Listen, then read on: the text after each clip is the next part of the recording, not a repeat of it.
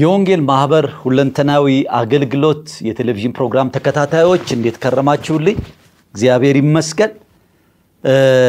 ባለፈው ሳምንት የጀመርነውን የፊልሞና መልእክትን መሰረት በማድረግ የተገለጠ ሕይወት በሚል ተመልክተናል። ባለፈው ሳምንት የመጀመሪያው ነው። ዛሬ ሁለተኛው ክፍል ነው። ሁለተኛው ክፍል ነው የምንመለከተው። ባለፈው ሳምንት ስለ አጠቃላይ ስለተገለጠ ሕይወት በቃልና በተግባር አንድ አይነት ስለሆነ የአፌ ቃልና የልቤ ሀሳብ በፊት ያማረ ይሁን ብሎ ዳዊት እንደጸለየና በእግዚአብሔር ፊት ትልቅ ትልቅ ሞገስ ያለው ተቀባይነት ያለው ሕይወት የሚናገሩትን ማድረግና ያደረጉትን መናገር እንደሆነ በዚህ አቅጣጫ ደግሞ ሐዋርያትም ጌታችን ኢየሱስ ክርስቶስ ትልቁ ምሳሌዎቻችን እንደሆኑ በስፋት ተናግሬ ያለው መመልከት ትችላላችሁ። ያለፈውን ሳምንት ያመለጣችሁ ሰዎች በዛ ገብታችሁ ልትከታተሉ ትችላላችሁ። ዛሬ የዛን ክፍል ሁለተኛውን part ነው የምንመለከተው። ላንብብና ጸልየን ወደ ትምህርታችን እንመጣለን። ሁሉንም አይደለም የማነበው፣ ግን የመጀመሪያ part ኡን ነው። በጌታ ስም አነባለሁ። አንድ ምዕራፍ ነው ያለው ከቁጥር አንድ ጀምሮ የክርስቶስ ኢየሱስ እስር ጳውሎስ ወንድሙም ጢሞቴዎስ ለተወደደውና አብሮ ለሚሰራ ለፊሊሞና ለእህታችም ለአንፊቢያ ከእኛም ጋር አብሮ ወታደር ለሆነ ለአክሪጳ በቤትህም ላለች ቤተ ክርስቲያን ከእግዚአብሔር ከአባታችን ከጌታም ከኢየሱስ ክርስቶስ ጸጋና ሰላም ለእናንተ ይሁን። በጌታ በኢየሱስ ዘንድ በቅዱሳንም ሁሉ ዘንድ ስላለ ስለ ፍቅርና ስለ እምነትህ ሰምቼ በጸሎቴ እያሳሰቡ ሁልጊዜ አምላኬን አመሰግናለሁ። የእምነትህ ኅብረት በእኛ ዘንድ ያለውን በጎ ነገር ሁሉ በማወቅ ለክርስቶስ ኢየሱስ ፍሬ እንዲያፈራ እለምንሃለሁ። የቅዱሳን ልብ በአንተ ሥራ ስላአረፈ ወንድሜ ወይ በፍቅር ብዙ ደስታንና መጽናናትን አግኝቻለሁና ስለዚህ የሚገባውን አዝዝ ዘንድ በክርስቶስ ምንም እንኳን ብዙ ድፍረት ቢኖረኝ ይልቁንም እንደዚህ የሆነውን የጳውሎስ ሽማግሌው አሁንም ደግሞ በኢየሱስ ክርስቶስ እስር የሆኑ ስለ ፍቅርህ እለምንሃለሁ። አስቀድሞ ስላልጠቀመ አሁን ግን ለእኔም ለአንተም ስለሚጠቅም በእስራቴ ስለወለድኩት ስለ ልጄ ስለ አናሲሞስ እለምንሃለሁ። እርሱን እልከዋለሁ፣ አንተም ልቤ እንደሚሆን ተቀበለው። እኔስ በወንጌል ሥራ ስለ አንተ እንዲያገለግለኝ ለራሴ ላስቀረው ፈቅድ ነበር። ነገር ግን በጎነት በፍቃድ እንጂ በግድ እንዳይሆን ሳልማከርህ ምንም እንኳን ላደርግ አልወደድኩም። እግዚአብሔር አምላካችን ሆይ እናመሰግንሃለን፣ እንባርክሃለን። ዛሬ ደግሞ ይህን ዕድል ሰጥተህናል። እግዚአብሔር ሆይ ከዓለም የተሰወረውን ይህን የከበረ ጥበብ ለእኛ ለብላቴኖቹ እግዚአብሔሩ ለእኛ ላልተገባን ሰዎች ስለገለጥክልን እናመሰግንሃለን። የትኛውም ብቃታችን የትኛውም እውቀታችን አይደለም ዛሬ የምንነጋገረው እንድንገባን ይረዳን ያንተ ምሕረት ያንተ ይቅርታ ነው። በጨለማው ልባችን ላይ ብርሃን ይብራ ስላልክ ነው ዛሬ የመንፈሳዊ ነገር እንዲገባን የረዳህን አምላክ ክብር ላንተ ይሁን። እንድናምን ስላገዝከን ተመስገን። አሁንም እግዚአብሔር ሆይ በጨለማ ዘመድ ውስጥ ያሉ በጨለማ አሰራር ውስጥ ያሉ ልቦናቸው የታወሩ ሰዎችን ይሄ ዛሬ ቅዱሳን የገባንን እውነት እንዲገባቸው እንድትረዳቸው እንድታግዛቸው በኢየሱስ ስም እንጸልያለን። በአጋጣሚ መልእክት የሚሰሙ ሰዎች እንኳን እግዚአብሔሩ የቃል ጉልበት ልባቸውን እንዲነካ እንዲቀየሩ እንዲፈወሱ በኢየሱስ ክርስቶስን ከእስራት ነፃ እንዲወጡ ከአጋንንት እስራት ነፃ እንዲወጡ ከዚህ ዓለም ከተጥለፈለፈ ክፉ ዲያብሎስ ከዘረጋው system ነፃ እንዲወጡ በኢየሱስ ስም እንጸልያለን። እኔና ወንድሞቼና እህቶቼ ቅዱሳን ሁሉ ደግሞ የቃል ብርሃን እንዲበራልን በኢየሱስ ስም እጸልያለሁ። ክብር ላንተ ይሁን በኢየሱስ ክርስቶስ ስም አሜን። እግዚአብሔር ይመስገን። ባለፈው ሳምንት እንደነገርኳችሁ ይህን መልእክት የሚጽፈው ትልቅ የእግዚአብሔር ሰው ነው። ይህን መልእክት የሚጽፈው ሐዋርያው ቅዱስ ጳውሎስ ነው። ይህን መልእክት በሚጽፍበት ጊዜ በእስር ላይ ነው ያለው።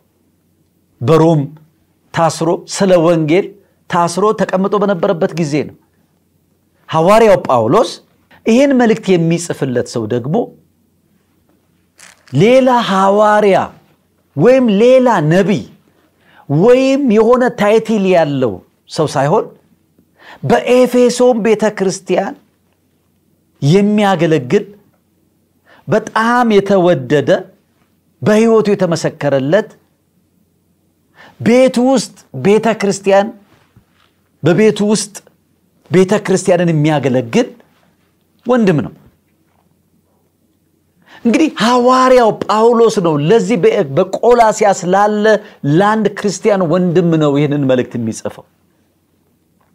ሲጽፍ ግን የሚጠቀምበትን ጥንቃቄ ተመልከቱ።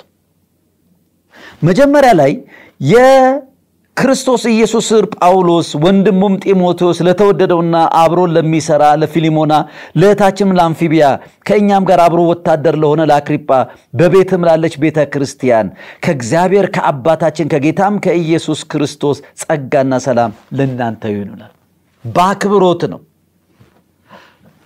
ምንም እንኳን ሐዋርያው ጳውሎስ ሐዋርያ ቢሆንም መንፈሳዊ ቢሆንም ይሄንን ወንድም ሊያዘው የፈለገው ነገር አለ፣ ሊነግረው የፈለገው ነገር አለ። ግን በአክብሮትና ይሄ ሰው በእግዚአብሔር ዘንድ ባለው ክብርና ሞገስ አክብሮ ነው የሚያነጋግረው። በመልእክቱ ሰላምታ ያቀርብላቸዋል። ሰላምታ ሲያቀርብ ለፊሊሞናም ለሚስቱም ምናልባት ደግሞ አብሮት ላለው ወይ ደግሞ ለልጁም ሊሆን ይችላል ለእህታችንም ለአምፊቢያ ከእኛም ጋር አብሮ ወታደር ለሆነ ለአክሪጳ በቤትም ላለች ቤተ ይላል።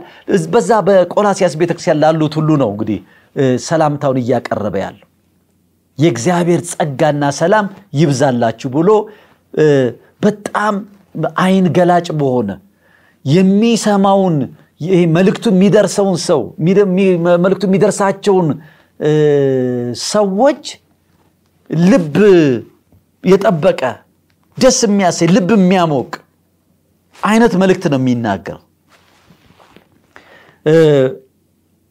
ከዛ በኋላ የሚናገረው ነገር ብትመለከቱት ቁጥር አራት ላይ በጌታ በኢየሱስ ዘንድ በቅዱሳንም ሁሉ ዘንድ ስላለ ስለ ፍቅርና ስለ እምነት ሰምቼ በጸሎቴ እያሳሰቡ ሁልጊዜ አምላኬን አመሰግናለሁ።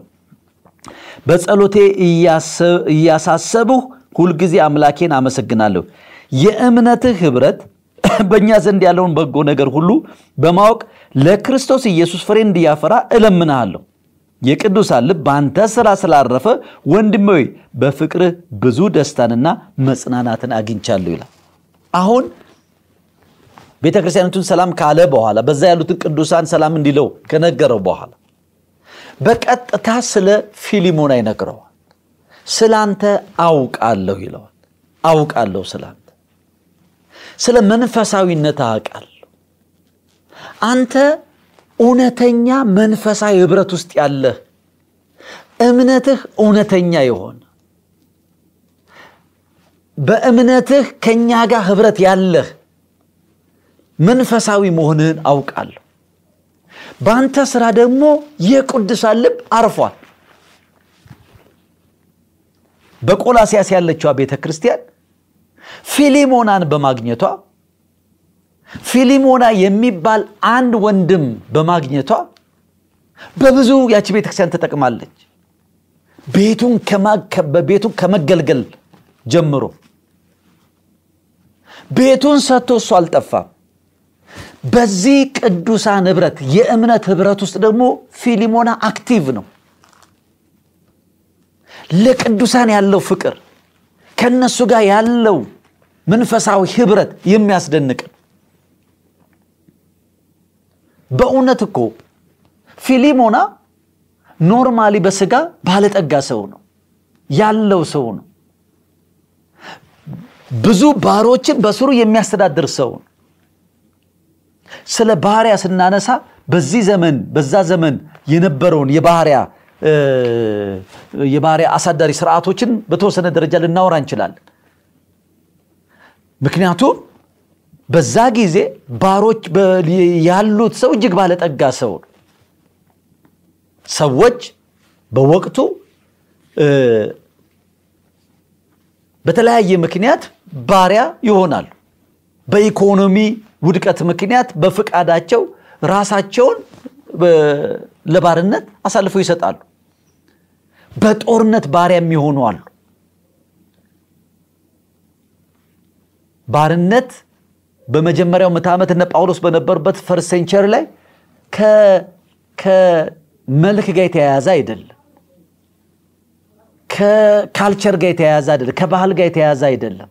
አፍሪካ፣ አሜሪካ፣ አውስትራሊያ ምናምን የሚባልም አይደለም። ልክ በዚህኛው ዘመን ባሪያ ሲባል የአፍሪካን በቀኝ ግዛት ተቆጣጥሮ በንግድ እንደተቸረቸረው ከእሱ ጋር የተያያዘ ነገር አይደለም ያለው። በወቅቱ የሮም መንግስት የትኛውንም ሂዶ በጦር ኃይሉ አሸንፎ የሚገዛውን በጦርነት የሚያሸንፋቸውና የሚይዛቸውን በሙሉ በባርነት ነው የሚያስተዳድራቸው እና የሮም መንግስት ራሱ ጉልበቱ አቅሙ የተመሰረተው ወግቶ አሸንፎ በስሩ በሰበሰባቸው ባሮች ነው። እነዛም ባሮች ነው የተለያየ ነገር ውስጥ በጦርነቱ በወታደር ውስጥም በስራ ውስጥ በእርሻ ውስጥ በተለያየ ነገር ውስጥ አሰማርቶ አቅሙ ጉልበቱን የሚያዳብር ስለዚህ እንደ ፊሊሞን አይነት ባለጠጋ የሆኑ ሰዎችም እንደዚህ አይነት ባሪያዎችንም ይገዙ ነበር እና በወቅቱ በነበረው መንግስት አሰራር ውስጥ በምክር ቤት የጸደቀ በህገ መንግስቱ የጸደቀ የባሪያ ስርዓት አለ። ባሮች ባሪያ የሚሆኑበት መንገድ፣ ከባርነት ነፃ የሚወጡበት መንገድ። ይህንን በህገ መንግስት የጸደቀውን ደንብና ስርዓት ሳይጠብቁ ቢወጡ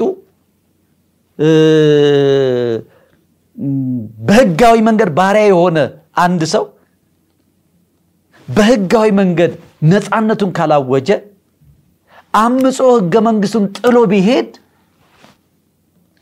ጠቡ ከዛ ከአፈንግጦ ከወጣበት ጌታው ብቻ ሳይሆን ከአገሩ ህገ መንግስት ጋር ጭምር ነው።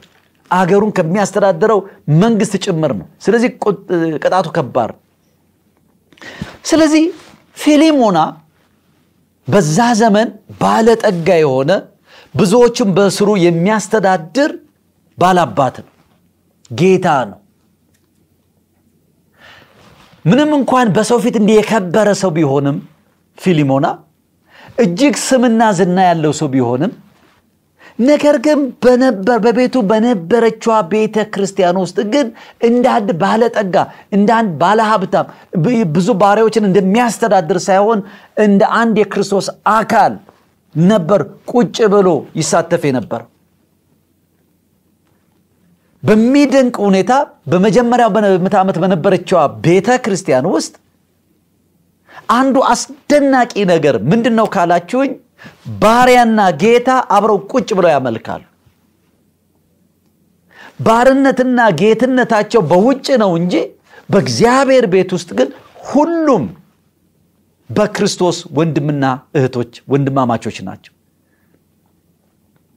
በክርስቶስ ነፃ ናቸው ሁሉ። አንዱ የበላይ አንዱ የበታች የሚባል ነገር የለም። ያኛው በጠፊው ዓለም ውስጥ ያለ ስርዓት ነው። ይሄኛው ደግሞ በክርስቶስ አካል ውስጥ ያለ ስርዓት ነው። ስለዚህ ፊሊሞና ይሄ የተወደደ የእግዚአብሔር ሰው ይህ ባለጠጋ የሆነ እጅግ የሚደመጥና የሚሰማ ሰው በ secular ኡ ዓለም በውጭው ዓለም ትልቅ status ያለው ይሄ ፊሊሞና በቤተ ክርስቲያን ውስጥ ግን ክርስቶስን ከሌሎች ወንድሙና እህቶቹ ጋር አብሮ ከፍ የሚያደርግ እንጂ በዛ ባለው በውጭ ባለው status በውጭ ባለው የኢኮኖሚ የበላይነት ወይም ደግሞ እውቀት ወይም ደግሞ የተለያየ ነገር ልሰልጥን የሚል ሰው አልነበረም።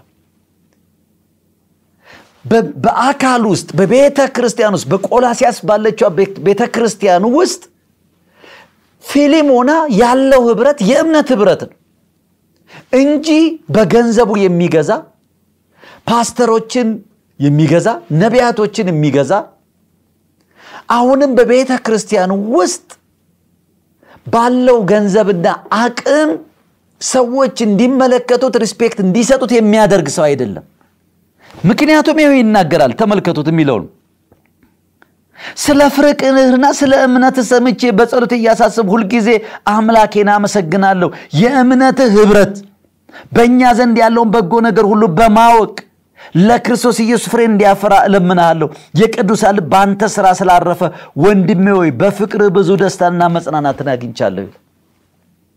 እግዚአብሔር ይመስገን። እንዲህ አይነት ሰዎችን እግዚአብሔር ያብዛልን ወገኖች። ዛሬ በቤተ ክርስቲያን ውስጥ እኮ የምንቸገረው በጣም ሀብታም የሆኑ ሰዎች በቤተ ክርስቲያን ውስጥ ሲመጡ መጋቢዎች፣ አገልጋዮች፣ የቤተ መሪዎች ያ ባለጠጋ ሰው ስለመጣ በዚህ ባለጠግነቱ ምን እንጠቀማለን ብለው ያስባሉ።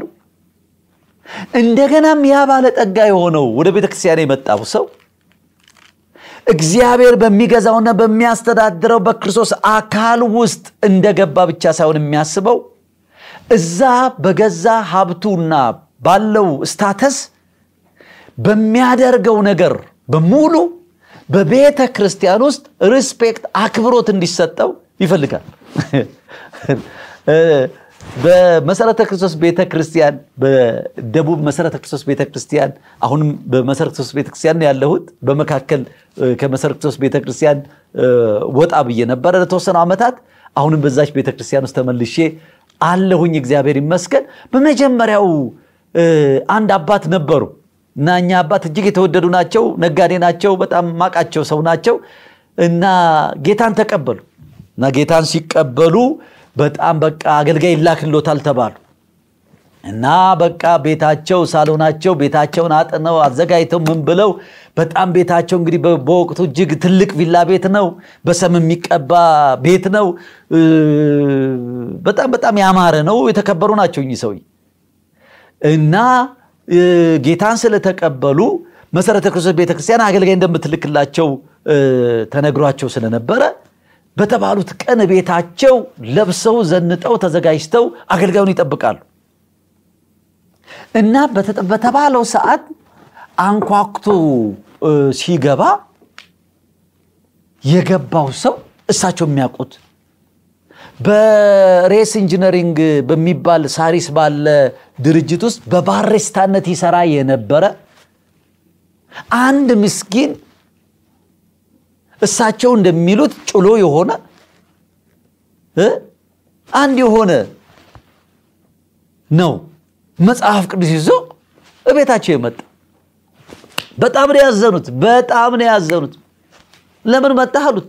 ላስተምራል። ማንን ነው የምታስተምረው አሉት። ማንን ነው የምታስተምረው አሉት።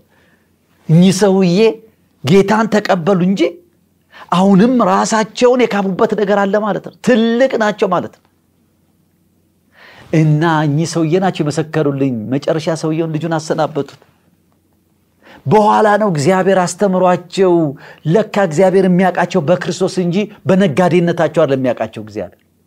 ለካ በምሁርነታቸው አይደለም የሚያውቃቸው እግዚአብሔር። የሚያውቃቸው በክርስቶስ ነው። ይህንንም ወንድሜንም እሳቸውን የሚያውቀው በክርስቶስ ነው። በእግዚአብሔር ፊት ወገኖቼ፣ እግዚአብሔር ፊት አይታዩ አደላ። አያችሁት? እንዲህ የመሰሉ ብዙ ታሪኮች አሉ። አንድ ሆቴል ወይም እንደ አንድ የሆነ ቦታ ላይ ትልቅ ቦታ ላይ ቤተ ክርስቲያን ትከራይና እነዚህ ትልቅ ስታተስ ያላቸውን ሰዎች በስታተሳቸው ልክ የምናገለግልበት ነገር ይዘጋጅ ብሎ ያቀረበ አገልጋይ አውቃለሁ። አይገርምም? እነዚህ ባለጠጎች፣ እነዚህ ባለስልጣን፣ እነዚህ ባለሀብቶች ወደ እግዚአብሔር ቤት ሲመጡ ከነ ባለስልጣንነታቸውን ከነ ሀብታቸው ወንድሜ ሆይ ይሄ እግዚአብሔር ደስ ያሰኘው እኛ ሁላችንም በክርስቶስ አዲስ ፍጥረት ነን። በ secular ኡ ዓለም በዛ በወደቀው ዓለም ባለበት የ life style ባለበት የህይወት ስርዓት የእግዚአብሔር ቤት አይደረግም። እጅግ የከበረ ትልቅ ባለጠጋ በጊዜው ትልቅ የሚባል ሰው ቢሆንም ቤቱን በቤቱ ውስጥ የቆላሲያስ ቤተ ክርስቲያን የምትገለገልበት ቢሆን በቤት ላለች ቤተ ክርስቲያን እኮ ነው የሚለው። በቤት ውስጥ ቅዱሳን እየተሰበሰቡ በዛ ዘመን የነበረችው ቤተ ክርስቲያን ስር ሰዳ የክርስቶስ አካል እንድታድግ በር የከፈተ ቢሆንም ነገር ግን ፊሊሞና ወገኖቼ በዛች ቤተ ክርስቲያን ውስጥ በፍቅር የታወቀ ነበር። በሀብቱ አይደለም የታወቀው፣ በገንዘብ አይደለም የታወቀው። ስለዚህ የቅዱሳን ልብ በፊሊሞና አርፏል። ይሄ እኔ ወደ 81 ዓመተ ምህረት ላይ ጌታን ተቀብዬ በነበረ ጊዜ በዛ ወቅት እማውቀው life style ይሄን ነው። ሀብታም የሆኑ ክርስቲያኖች አሉ፣ ባለስልጣን የሆኑ ክርስቲያኖች አሉ፣ ድሆች አሉ፣ የተለያዩ አሉ። ግን የሚለየን ነገር የለም። ሀብታሞቹ ከኛ ጋር ይጸልያሉ፣ ድሆቹ ከኛ ጋር ይጸልያሉ። በጌታ ወንድም እንደውም አንድ ወንድም ነበረ ሲተዋወቅ ራሱ ዶክተር ይከሌ በላለው ብሎ ሲተዋወቀው ጌታን ታውቃለህ ይለዋል። ከዶክተር ጌታን ታውቃለህ ይለዋል። አላቅም ካለ ወይ ተጎዳ ወንድሜ፣ ያለ ጌታ ዶክተር ሆንክ ይላል። አይ ዶክተር በጌታ ነኝ ሲል አቤት አቤት አቤት ብሎ ያደንቀዋል። ፊሊሞና እንዲህ አይነት መንፈሳዊ ሰው የነበረ ነው። እግዚአብሔር በነገር ሁሉ ማስተዋል ይስጠን። ዛሬ በቤተ ክርስቲያን ውስጥ አንዱ ዋጋ እየከፈልን ያለው ሰፈር እያደረግን ያለነው ነገር ምንድን ነው? ሰዎች በታዋቂነታቸው ባላቸው status በቤተ ክርስቲያን ውስጥ ቶሎ ስፍራ ሰጥተን active ስለምናረጋቸው የዓለሙ ነገር በቤተ ክርስቲያን ውስጥ እንዲገባና ቤተ ክርስቲያን ዋጋ እንድትከፍል ሆናለች። ግን ቤተ ክርስቲያን የምትመራው በእንዲህ አይነት ሰዎች አይደለም። ቤተ ክርስቲያን የምትመራው መንፈሳዊ በሆኑ በእግዚአብሔር ፊት ባደጉ ሁሉን ነገር ስለ ክርስቶስ ረብ አድርገው ለቆጠሩ ቅዱሳን ነው ቤተ ክርስቲያን የምትመራው። ወገኖቼ በተለይ በዚህ ዘመን በተለይ በዚህ ዘመን እኔ ትዝ ይለኛል አንድ ቦታ ላይ በጣም እንዳስተምር ጋበዘኝ እና የጋበዘኝ ሰው ረጅም ትምህርት እንዳስተምር የጋበዘኝ ማስተምረው ትምህርት ጠንከር ያለ ትምህርት ነው ማስተምረው። ይህን ነው እየተናገርኩ ያለው። ዘርፈ ሰርቀ አጭበርበረ መተ እዚህ ሚሊየን ብር መቶ ሺህ ብር ሚሊየን ለቤተ ክርስቲያን ካዝና ውስጥ እየከተት ፓስተሩን ልታሰክረው ትችላለህ። ነቢዩን ልታሰክረው ትችላለህ። የቤተ ክርስቲያን አዳራሽን በአንዴ ልታስጨርስ ትችላለህ። ነገር ግን በእግዚአብሔር መንግስት ውስጥ ግን የምታተርፈው ምንም ነገር የለም። እንደውም የመበለቷን የዛችን ከጉድለቷ የሰጠችዋን የዛች ንጹህ ገንዘብ እንዳታረቅ ተጠንቀቅ ብዬ ሰብክና አስተምር ነበር። ቦታው ደግሞ ሀብታሞች የተሰበሰቡበት ቦታ ነበር። እና ይህ መልእክት ያልወደዱ ነበሩ። ረጅም ትምህርት እየሰጠው ያለው።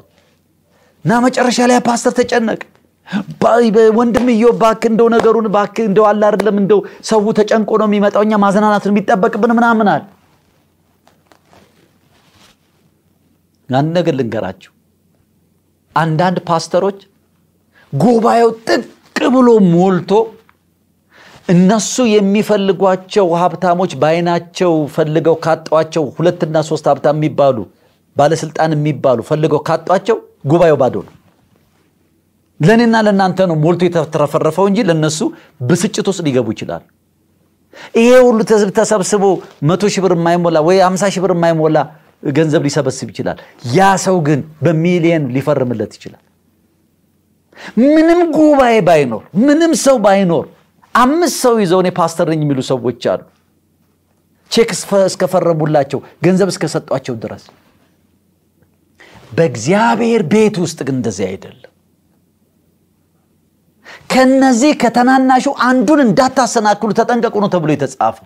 አንዱን እንዳታሰናክሉ ተጠንቀቁ ነው የተባለው። ታናሹን እኮ ነው፣ ምስኪኑን፣ ደካማውን፣ የለም የሚባለውን ለምን አንተነ ምስኪን የምትለው አንተነ ታናሽ የምትለው ግን የክርስቶስ ደም የፈሰሰለት ነው። በእግዚአብሔር ፊት የከበረ ነው። እሱም ብታሰናክለው በአንገት ላይ የድንጋይ ወፍጮ ታስሮ ወደ ባልጥርቅ ብትጣል ይቀላል። አንተ በጣም ያከበርከው ትልቅ ያልከው በጣም በጣም ትልቅ ያልከው እንደ ናባል አይነት ሰው መጽሐፍ ቅዱስ ባለጌ ሊለው ይችላል። እግዚአብሔር ማስተዋል ይስጠን ወገኖች። የዘመኗ ቤተ ክርስቲያን ምስቅልቅሏ የወጣው ችግር ውስጥ የገባችው ሰዎችን ባላቸው በላያቸው ላይ በተከመረው ነገር ላይ ልቧን ስለጣለች እንጂ በውስጥ ሰውነታቸው ባለው መንፈሳዊ ብቃታቸው ቢሆን ቤተ ክርስቲያን ጤንነቷ የተጠበቀ ነበር። የመጀመሪያዋ ቤተ ክርስቲያን first century ላይ የነበረችው ቤተ ክርስቲያን powerful የነበረችው ኃይለኛ የነበረችው በቤተ ክርስቶስ ባለስልጣን ስለነበረ አይደለም። ሀብታሞች ስለነበሩ አይደለም።